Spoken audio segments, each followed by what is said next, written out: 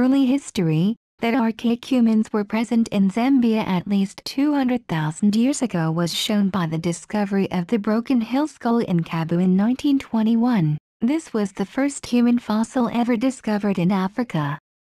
1. The earliest known modern humans to live in the territory of modern-day Zambia were the Khoisans.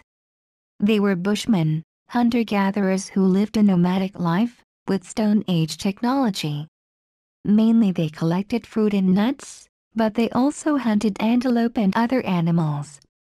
The Khoisans were the only inhabitants of most of Zambia until the 4th century, when Bantu started to migrate from the north. They had far more developed technology, they were farmers and had iron and copper tools and weapons, as well as knowledge of pottery making. They lived in small self-sufficient villages of wattle and daub huts, growing sorghum and beans, as well as keeping cattle and goats. The Tonga live in southern Zambia along the Zambezi River are the earliest settlers among the modern ethnic groups in Zambia today. The name Tonga is apparently from a word in the Shona language that means independent.